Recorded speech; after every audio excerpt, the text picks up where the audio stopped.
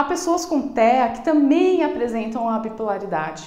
Alguns estudos descobriram que até 27% das pessoas com autismo também apresentam sintomas de transtorno bipolar. Então, sabe-se que o transtorno bipolar pode estar ligado à genética, né? Os sinais de transtorno bipolar se enquadram em duas categorias: maníacos e depressivos. Os sinais de um episódio maníaco incluem felicidade extrema, otimismo, aumento de, de energia, é, agitação, autoestima inflada, distúrbios do sono e distração excessiva.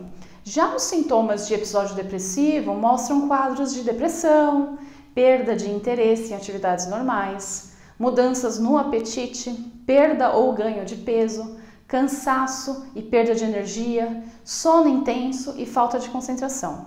Bom, o tratamento é realizado com medicação e intervenções comportamentais.